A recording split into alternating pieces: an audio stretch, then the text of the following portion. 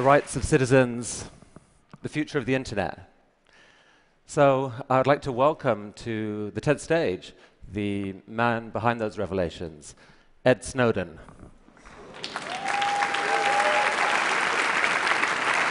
Ed is uh, in a remote location somewhere in Russia, uh, controlling this bot with, from his laptop. So he can see what the bot can see. Ed, welcome to the TED stage. What, what can you see, as a matter of fact? I can see everyone. This is amazing. um, Ed, um, some questions for you. You've been called many things in the last few months. You've been called uh, a whistleblower, uh, a traitor, a hero. What words would you describe yourself with? You know, we, everybody who's involved with this debate has been struggling over me and my personality and, and what, how to describe me. But when I think about it, these, these, this isn't the question that we should be struggling with. Who I am really doesn't matter at all. If I'm the worst person in the world, you can hate me and, and move on. What really matters here are the issues. What really matters here is the kind of government we want, the kind of internet we want, the kind of relationship between people and societies. And that's what I'm hoping the debate will move towards, and we've seen that increasing over time. If I had to describe myself, I wouldn't use words like hero, I wouldn't use patriot, and I wouldn't use traitor. I'd say I'm an American and I'm a citizen, just like everyone else. Hmm. So, just to give some context for those who don't know the whole, whole story, This time, um, this time uh, a year ago, you were stationed in Hawaii working as a consultant to the NSA. You had, as a sysadmin, you had access to their systems. Um, and you began um, revealing certain classified documents to some hand-picked journalists, um, leading the way to June's revelations. Now, what propelled you to do this? You know, when I was sitting in Hawaii, uh, and the years before when I was working in the intelligence community, I saw a lot of things that had disturbed me.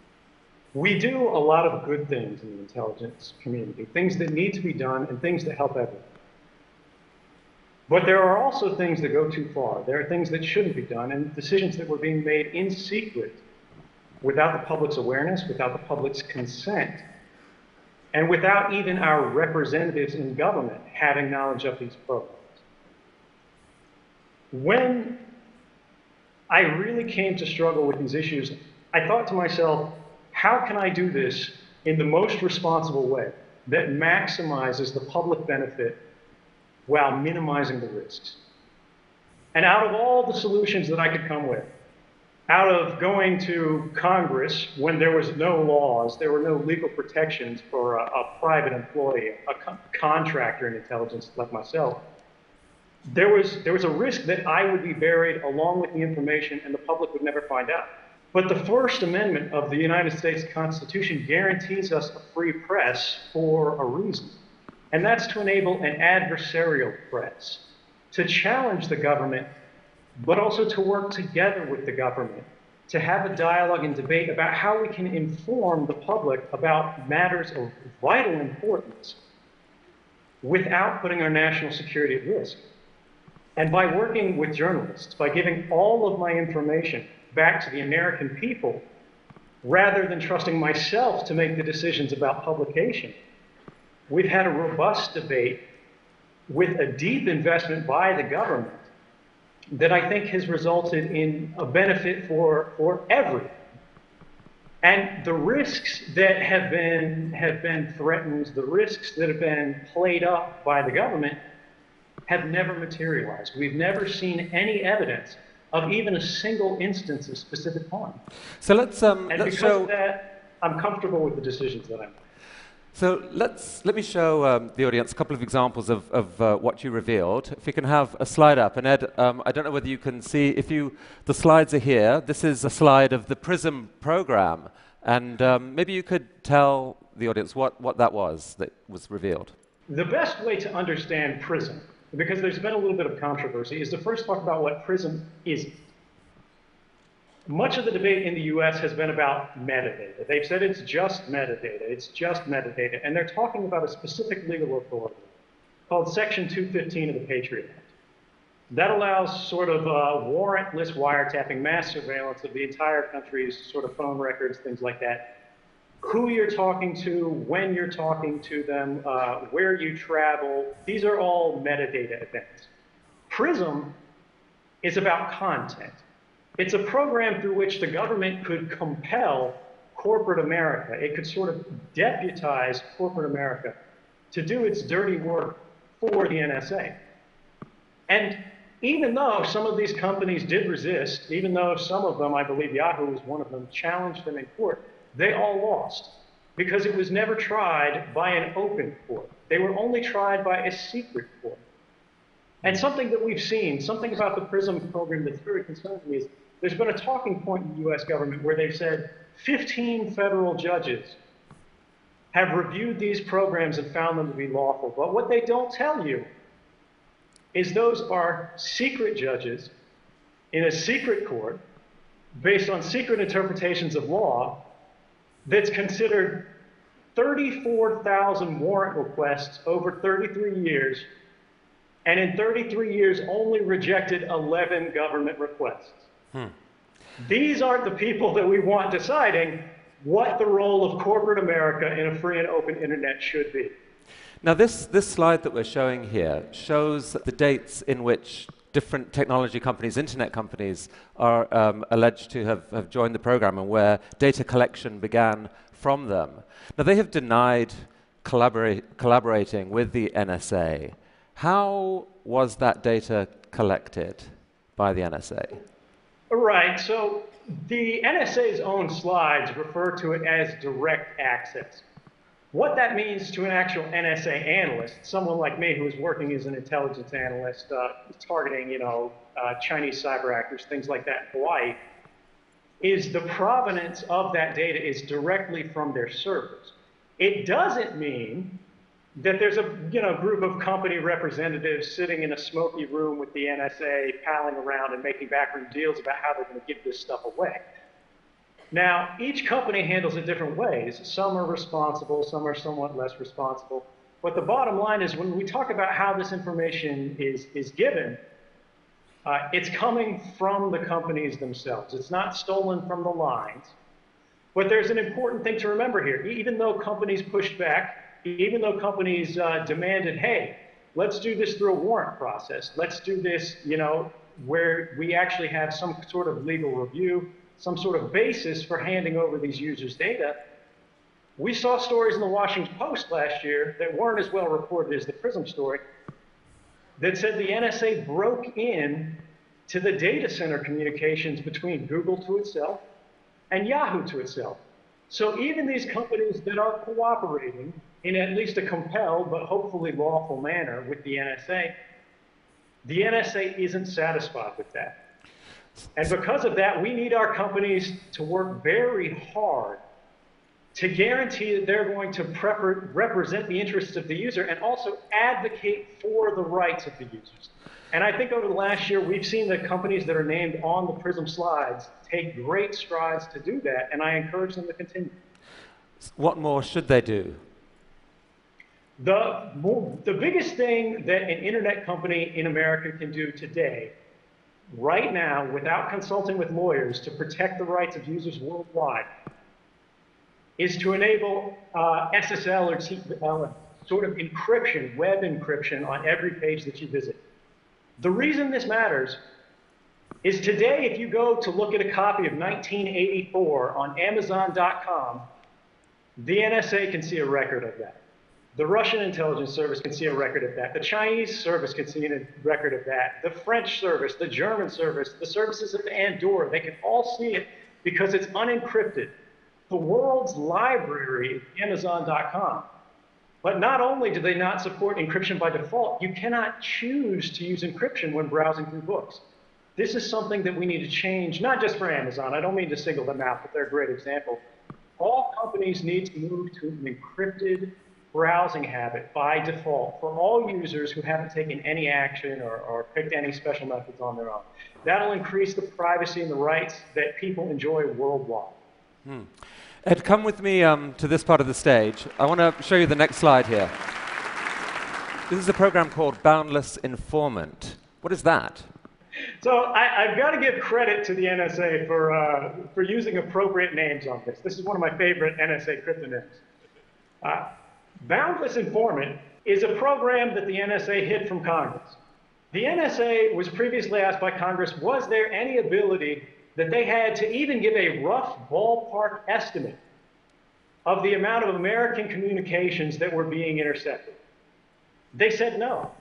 They said we don't track those stats and we can't track those stats. We can't tell you how many communications we're intercepting around the world because to tell you that would be to invade your privacy. Now, I, really appreciate that sentiment from them. But the reality when you look at this slide is not only do they have the capability, the capability already exists. It's already in place. The NSA has its own internal data format that tracks the both ends of a communication. And if it says this communication came from America, they can tell Congress how many of those communications they have today, right now. And what Boundless Informant tells us is more communications are being intercepted in Americans of, in America about Americans than there are in Russia about Russians. Hmm. I'm not sure that's what an intelligence agency should be aiming for. Um, Ed, there was a story broken in the Washington Post, again from your data. The headline says NSA broke privacy rules thousands of times per year. Tell us about that. We also heard in congressional testimony last year, it was, it was an amazing thing for someone like me who came from the NSA and who's, who's seen the actual internal documents, knows what's in them, uh, to see officials testifying under oath that there have been no abuses, that there have been no violations of the NSA's rules, when we knew this story was coming. But what's especially interesting about this, about the fact that the NSA has violated their own rules, their own laws, thousands of times in a single year, including one event by itself, one event out of those 2,776, uh, that affected more than 3,000 people. In another event, they intercepted all the calls in Washington, D.C. by accident. What's amazing about this, this report that didn't get that much attention, is the fact that not only were there 2,776 abuses, the chairman of the Senate Intelligence Committee, Dianne Feinstein, had not seen this report until the Washington Post contacted her asking for comment on the report. Hmm. And she then requested a copy from the NSA and received it, but had never seen this before that. What does that say about the state of oversight in American intelligence when the chairman of the Senate Intelligence Committee has no idea that the, the rules are being broken thousands of times every year? Ed, one response to this whole debate is this it's why should we care about all this surveillance, honestly? I mean, look, if you've done nothing wrong, you've got nothing to worry about. What's wrong with that point of view? Well, so the first thing is you're, you're, you're giving up your rights. You're saying, hey, you know, I don't think I'm going to need them. So I, am just going to trust that, you know, let, let's get rid of them. It doesn't really matter. That, you know, these guys are going to do the right thing. Your rights matter because you never know when you're going to need them. Beyond that, it's a part of our cultural identity, not just in America, but in Western societies and in democratic societies around the world. People should be able to pick up the phone and to call their family. People should be able to send a text message to their loved ones. People should be able to buy a book online. They should be able to travel by train. They should be able to buy an airline ticket without wondering about how these events are going to look to an agent of the government, possibly not even your government, years in the future.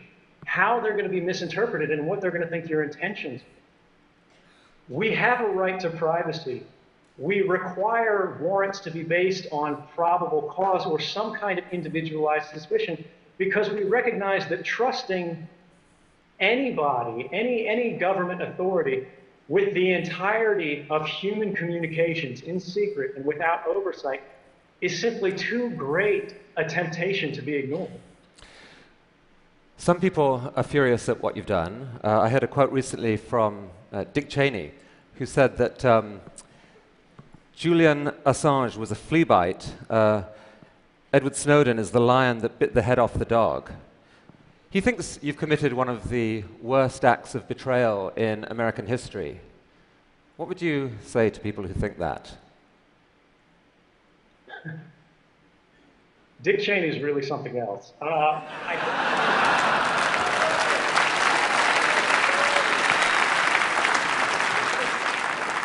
Thank you. Uh, I think it's amazing because at the time, Julian Assange was doing some of his greatest work. Uh, Dick Cheney was saying he was going to end governments worldwide. The skies were going to ignite and the seas were going to boil off. And, and now he's saying it's a flea bite.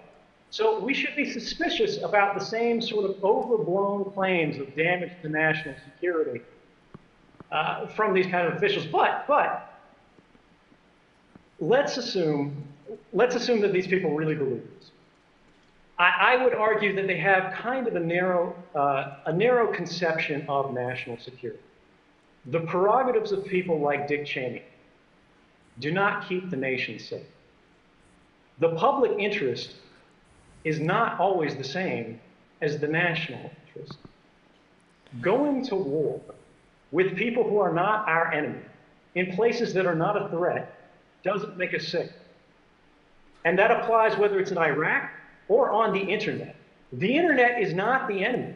Our economy is not the enemy. American businesses, Chinese businesses, and any, any other world, any other company out there is a part of our society. It's a part of our interconnected world. There are ties of fraternity that, that bond us together. And if we destroy these bonds by undermining the standards, the security, the, the, the manner of behavior that nations and citizens all around the world expect us to abide by. But um, you know, it's alleged that you, have stolen uh, 1.7 million documents. It seems only a few hundred of them have been shared with journalists so far. Are there more revelations to come? There are absolutely more revelations to come. I, I don't think there's any uh, any question that some of the most important uh, some of the most important reporting to be done is yet to come.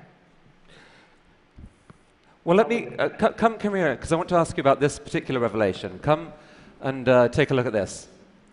I mean, this is, this is a story which I think for a lot of the techies in this room is the single most shocking thing that they have heard in the last few months. It's about um, a, a program called Bull Run. Could you explain what that is? So Bull Run, and this is again where we've, we've got to thank uh, we got to thank the NSA for their uh, their candor. Uh, this is a program named after a Civil War battle. Uh, the British counterpart is called Edgehill, which is a UK Civil War battle. And the reason that I believe they're named this way is because they target our own infrastructure. They're programs through which the NSA intentionally misleads corporate partners. They tell corporate partners that these are safe standards. They say, hey, we need to work with you to secure, uh, secure your systems. But in reality, they're giving bad advice to these companies that makes them degrade the security of their services. They're building in back doors that not only the NSA can exploit, but anyone else who has time and money to research and find it can then use to let themselves into the world's communications. And this is really dangerous because if we lose a single standard, uh, if we lose the trust of something like uh, SSL, which was specifically targeted by the Bull Run program, uh, we will live in a less safe world overall. We won't be able to access our banks, and we won't be able to access uh, uh, commerce without worrying about people monitoring those communications and subverting them for their own. And, and do those same decisions also potentially um, open America up to cyber attack from other sources? Absolutely. Uh, one of the problems, uh, one of sort of the, the, the, dangerous legacies that we've seen in the post 9 11 era is that the NSA has traditionally worn two hats. They've been in charge of offensive operations, that is hacking, but they've also been in charge of defensive operations. And traditionally, they've always prioritized defense over offense based on the principle that American secrets are simply worth more. If we hack a Chinese business and steal their secrets, if we hack a government office in Berlin and steal their secrets, that has less value to the American people than making sure that the Chinese can't get access to our secrets. So by reducing the security of our communications, they're not only putting the world at risk, they're putting America at risk in a fundamental way because intellectual property is the basis, the foundation of our economy. And if we put that at risk through weak security, we're going to be paying for it for years. But they, have made a calculation that it was worth doing this as part of America's defense against terrorism. Surely that makes it a price worth paying.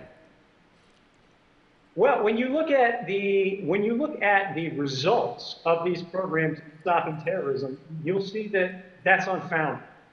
Uh, and you, you, don't have to take my word for it because uh, we've had the first open court, the first federal court that's reviewed this uh, outside of sort of the, the secrecy arrangement, called these programs Orwellian and likely unconstitutional. Uh, the Congress who has access to be briefed on these things and, and now has the uh, desire to be, has uh, produced bills to reform it. And two independent White House panels who reviewed all of the classified evidence said these programs have never stopped a single terrorist attack that was imminent in the United States. So, is it really terrorism that we're stopping? Do these programs have any value at all? I say no, and all three branches of the American government say no as well. I mean, do you think there's a deeper motivation for them than the war against terrorism? I'm sorry, I couldn't hear you. Say again? Sorry, do you think there's a deeper motivation for them other than the war against terrorism? Yeah, the, the, the bottom line is that terrorism has always been what we in the intelligence world would call a cover for action. Uh, terrorism is something that provokes an emotional response that allows people to rationalize authorizing uh, powers and programs that they wouldn't give otherwise. The Bull Run and Edge Hill type programs, the NSA asked for these authorities back in the 1990s. They asked the FBI to go to Congress and make the case. The FBI went to Congress and did make the case. But Congress and the American people said no. They said it's not worth the risk to our economy. They said it's worth too much damage to our society to, to justify the gains. But what we saw is in the post 9 11 era, they used secrecy and they used the justification of terrorism to start these programs in secret without asking Congress, without asking the American people. And it's that kind of government behind closed doors that we need to guard ourselves against because it makes us less safe and it offers no value. Okay, come, come with me here for a sec, because I've got a more personal question for you. Um, speaking of terror, um, most people would find the situation you're in right now um, in Russia pretty terrifying. Um, you obviously, you know, you heard what happened, what the treatment that Bradley Manning got, Chelsea Manning as now is. And um, there was a story in BuzzFeed saying that there are people in the intelligence community who want you dead. How, how are you coping with this? Are you, how are you coping with the fear? You know, it's, it, it's no mystery that there are governments out there that want to see me dead. Um, I've made clear again and again and again that I go to sleep every morning thinking about what I can do for the American people.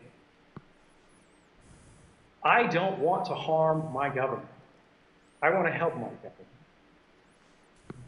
Well, the fact that they are willing to completely ignore due process, they're willing to, to, to declare guilt without ever seeing a trial, these are things that we need to, to work against as a society and say, hey, this is not appropriate. We shouldn't be threatening dissidents. We shouldn't be criminalizing journalism. And whatever part I can do to see that end, I'm happy to do despite the risks.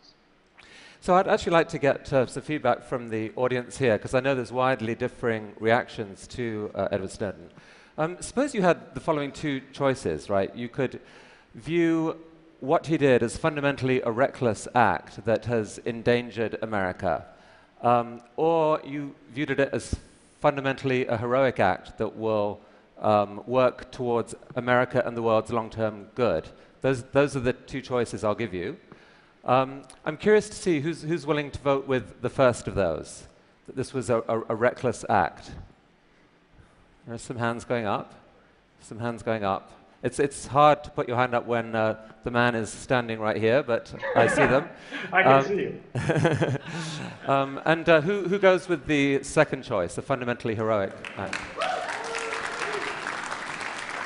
And, and, I think it's true to say that there are a lot of people who didn't show a hand, and I think, I think um, are, are, still thinking this through. Because it seems to me uh, that the debate around you doesn't split along traditional political lines. It's not left to right, it's not really about pro government, libertarian, um, or not just that. Um, part of it is almost a generational issue. You're, you're part of a generation that grew up with the internet, and it seems as if you, you become offended at almost a visceral level when you see something done that you think will harm the internet. I mean, is, that, is there some truth to that? It is. You know, I, I, I think it's very true. This is not a left or right issue. You know, our basic freedoms, and when I say our, I don't just mean Americans, I mean people around the world. It's not a partisan issue. These are things that all people believe. And it's up to all of us to protect them. And to people who have seen and enjoyed a free and open internet, it's up to us to preserve that liberty for the next generation to enjoy. And if we don't change things, if we don't stand up to make the changes we need to do to keep the internet safe, not just for us, but for everyone, we're going to lose that. And that would be a tremendous loss, not just for us, but for the world. Well, I have heard similar language recently from the founder of the World Wide Web, who I actually think is with us. Sir Tim Berners-Lee. Tim, would, actually, would you like to come up and, and um, say, do we have a microphone for Tim? Tim, good to see you. Come up there.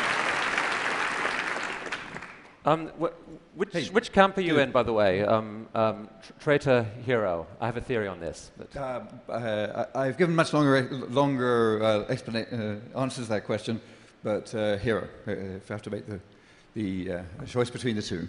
And um, Ed, you, I think you've read the proposal that Sir Tim's talked about, about a new Magna Carta to take back the internet. Is that something that makes sense? Absolutely. I mean, my generation, I grew up not just thinking about the internet, but I grew up in the internet. and although I never expected to, uh, to have the chance to defend it in such a, uh, such a direct and practical manner and to sort of embody it in this unusual, uh, almost avatar manner, I think there's something poetic about the fact that one of the sons of the internet has actually become close to the internet as a result of their political expression. And I believe that a Magna Carta for the internet is exactly what we need. We need to encode our values, not just in writing, but in the structure of the internet. And it's something that I hope, I invite everyone in the audience, not just here in Vancouver, but around the world, to join and participate in. Do you have a question for Ed? Well, it's the uh, two questions, a general question. Ed, Ed, can you still hear us? Ed? Yes, I can hear you. Yeah. Okay. Oh, he's back. Uh, so, so somebody, the wiretap on the on your line got a little got interfered with it for a moment. Uh, the, it's a little so, bit of an NSA problem. So, if so, uh, from the 25 years, sort of step back, stepping back and thinking, uh, what would you think would be the best that we could achieve uh, from all the discussions that we have about the, uh, uh, about the web we want? You know, I, when we think about in terms of how far we can go, I think that's a question that's really only limited by what we're willing to put into it. I think the internet that we've enjoyed in the past has been exactly what we as a, as a, not just a nation, but as a people around the world need. And by cooperating, by engaging not just the technical parts of society, but as you said, the users, the people around the world who contribute through the internet, through social media, who just check the weather, who rely on it every day as a part of their life, to champion that. we'll get not just the internet we've had, but a better internet, a better now. Something that we can use to build a future that'll be better not just than what we hoped for, but anything that we could have imagined. It's, um, it's 30 years ago that TED was founded, 1984. Um, a lot of the conversation since then has been along the lines that um, actually George Orwell got it wrong. It's not Big Brother watching us. We, through the power of the web and transparency, are now watching Big Brother. Your revelations kind of drove a stake through the heart of that rather optimistic view. Um, but you, you still believe there's a way of, of doing something about that. And you do too. Right. So there is, a, there is an argument to be made that the powers of Big Brother have increased enormously. Uh, there was a recent uh, legal article uh, at Yale uh, that established something called the Bankston-Soltani uh, principle, which is that our expectation of privacy is violated when the capabilities of government surveillance have become cheaper by an order of magnitude. And each time that occurs, we need to revisit and rebalance our privacy problem. Now, that hasn't happened since uh, the government's uh, surveillance powers have increased by hmm. several magnitude, and that's why we're in the problem that we're in today. But there is still hope because the power of individuals have also been increased by technology. I am living proof that an individual can go head to head against the most powerful adversaries and the most powerful intelligence agencies around the world and win. So, and I think that's something that we need to take hope from and we need to build on to make it accessible not just to technical experts, but to ordinary citizens around the world. Journalism so, is not a crime. Communication is not a crime. and we should not be monitored in our everyday activities. I am not quite sure how you shake the hand of a, of a bot, but I imagine it's. Um, It'll imagine come. That'll come this very is, soon. This is the hand right here. nice to meet you, and, and I, I, hope my beam looks as nice as my view of you guys does. Th thank you, right. thank you, Tim. Um,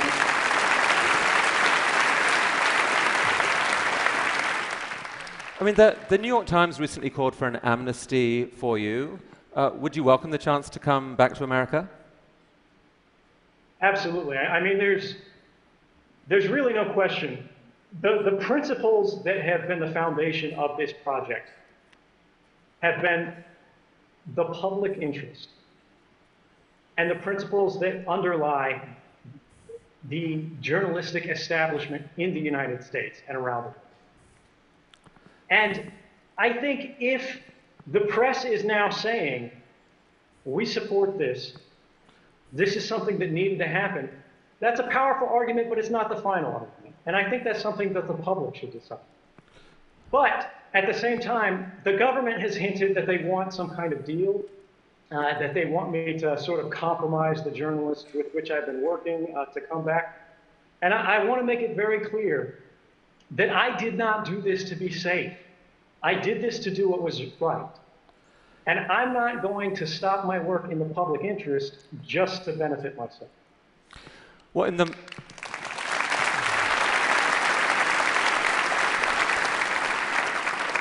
In the meantime, um, courtesy of the internet and this technology, um, you're here back in North America, not quite the US, Canada, um, uh, in this form. How, I'm curious, I mean, how does that feel? Canada is different than what I expected. It's a lot warmer.